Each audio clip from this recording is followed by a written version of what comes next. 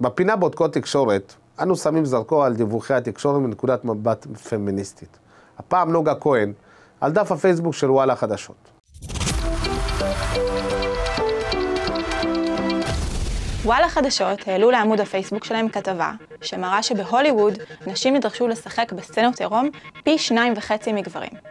זה יפה שוואלה חושפים את הצופים לביקורת פמיניסטית, אבל מבדיקה של דף הפייסבוק של וואלה חדשות עולה תמונה עגומה הרבה יותר.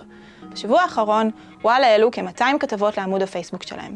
רק 75 הראו נשים, הרבה פחות מהייצוג שלנו בחברה. 16 הציגו נשים בהקשרים של סקס, פידות או השתמשו באילוסטרציות מיניות, 3 עסקו בלבוש דיאטה ובישול, ו-8 הציגו נשים בתפקיד של אימא של או אישה של. כלומר, יותר משליש מהייצוג הנשי היה סטריאוטיפי. הלאה. 11 ידיעות הציגו פגיעה בגוף הנשי, באלימות או במוות, שזה פשוט סוג אחר של פורנוגרפיה. 7 הציגו נשים כפושעות, שזה בהחלט משהו שצריך לדווח עליו, אבל נראה שחלק מהכתבות שיחקו על הדימוי המיזוגני של האישה העבריינית. 9 הציגו נשים כמגישות או כסלבס בתוכן שנחשב צהוב. למעשה, מתוך 75 ידיעות, רק קצת יותר מרבע הציגו נשים מחוץ לתפקיד מגדרי. 12 כתבות על מקרי אונס ותקיפה מינית, 3 תמונות אילוסטרציה לא סטריאוטיפיות, ורק 6 כתבות על דברים שנשים עשו או על נשים בכירות.